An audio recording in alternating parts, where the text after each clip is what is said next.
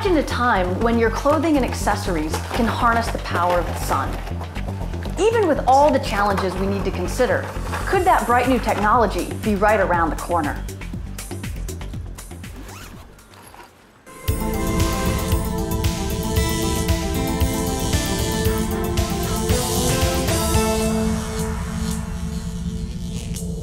Most of us think solar panels are something that sit on a roof, many materials go into making a solar cell. Getting them extracted and transported to the places they can be used is no small feat. Copper and tin, for example, start with laborious mining and production processes, and trade has always been a critical aspect of their success. Not to mention indium, silicon, oil, silver, and aluminum. In fact, most of the materials we need to create new technologies, such as solar panels, have a similar story. Where are we going to get the materials to make all of these new products? And what lessons can we learn from the past? In the ancient world, um, bronze was not produced in the same area in which copper was melted. You have copper smelters in one place that would, not even they would be in the area where copper was mined from. So you have miners transporting the copper for the smelting sites, and the smelters will actually send the smelted copper to the bronze making sites, all three being connected by trade. Similarly, in the modern in the modern world, you don't have the production of PVs in the same place where polysilicon is necessarily made, and you don't have the, the, the, the PVs made in the same place where they are used. Um, although there are cases like that, for example, in China nowadays, um, they, they tend to be rather the exception than the rule. The photovoltaic effect, or PV, is a conversion from light into electrical energy. It was first observed by the French scientist Edmond Becquerel, but the first PV cells didn't come along until more than 100 years later. You can use the sun to create electrical energy without pollution and pretty efficiently. The sun shines someplace on Earth 24 hours a day. In fact, the sun delivers more energy to the Earth in one hour than the world uses in a year. It seems like a no brainer. If solar energy is so abundant and clean, why aren't we all using it? What's the catch? The issue is really the economics. The big portion of the cost is the manufacturing cost and the installation. When we can reduce these costs to a level so that the solar electricity can compare with the grid electricity at the same cost, then we are going to see a much bigger use of solar cells. There also needs to be better storage methods, like batteries, for when the sun isn't shining.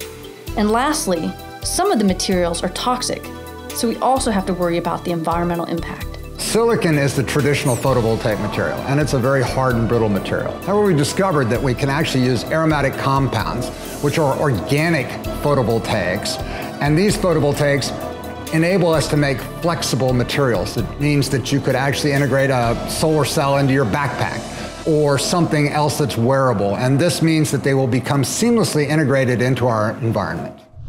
In, in our laboratory, we study organic materials.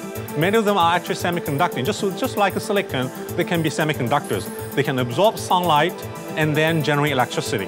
One of the fundamental uh, interests for us is to produce flexible panels. They can be fabricated onto plastics or metal foils. The cost of producing these materials are a lot lower than producing the silicon crystals. The flexible panels can have other usages as well. Uh, for example, we can put it on the outside of the building organics can have very different kind of colors, so we can make camouflage or whatever color you want to use. The other usage is think about all these grass that we have. You have to water the grass and you have to put on fertilizers, uh, you have to cut the grass often. So, so think about generating these uh, green uh, organic-based solar cells and put them on plastic films and you can cut them into grass shape and now you have a organic-based uh, solar turf instead of a real turf.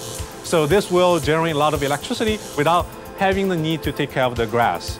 So the first step is just to clean them, and we use solvent, uh, acetone, isopropanol to clean them, and oftentimes we use ultrasonic uh, sonicator uh, to help us clean and just to get rid of all the grease and dust particle on the surface so we can have a very clean uh, surface to start making the device.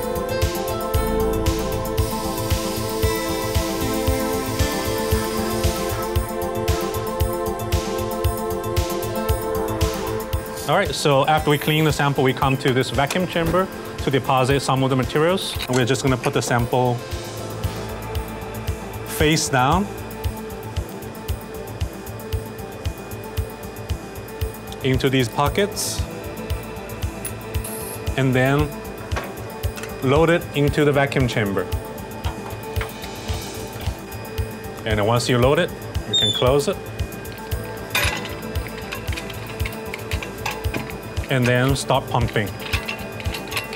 We have to pump down the chamber to the vacuum, uh, and it generally it takes anywhere from 20 minutes to an hour and a half. So I just showed you the vacuum process uh, for depositing some of the organic materials. An alternative process is solution process, uh, which is typically done in these nitrogen-filled glove boxes.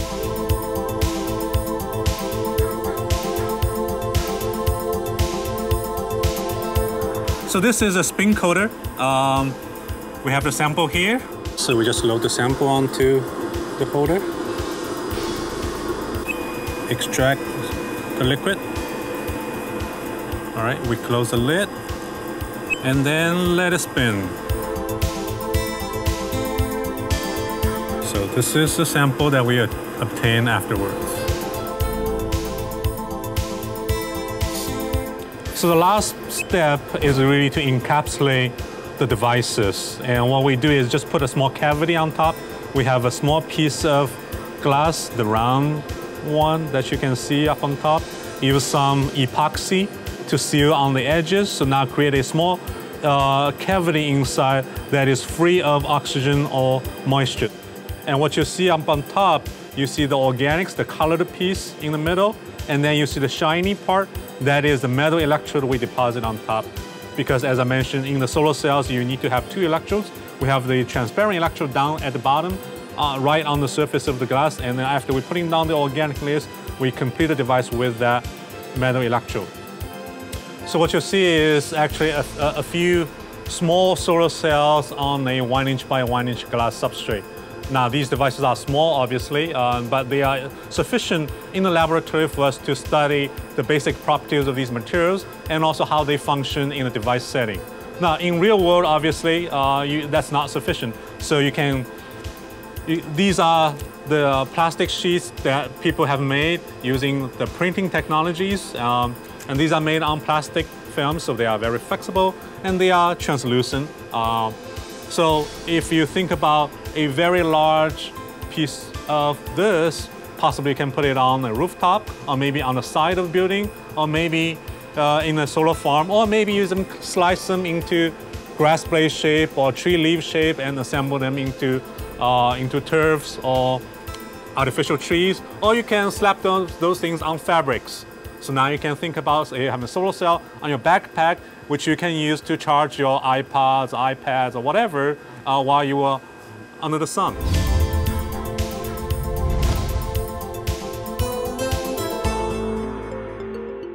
The solution with the, with the aromatic compounds is one that has to do with the manufacture of the PVs rather than with the extraction of the solar energy itself. I'm thinking that perhaps the solution in the future will be a combination of the two technologies that will actually lead to some breakthrough into uh, this. Instead of the big panels on your on your house, you're going to just have a little strip here that will retain, will be flexible in terms of the shape, but will be able to, re, to retain an enormous amount of solar energy. The energy supply is an issue that we have to solve. Okay, is this generation, next generation, because the fossil fuels is not renewable. At some point, we're going to use up all those uh, coal and uh, natural gas and oil. So at some point, we have to rely on this renewable energy. But this is a very complex problem. It's not, it cannot be solved by one single discipline. So we work on material science engineering, but we also need to work with chemists, physicists, electrical engineers, and chemical engineers and mechanical engineers to solve the problem together. Uh, so it's a very complex issue, involves many different disciplines, and people need to have that kind of mindset.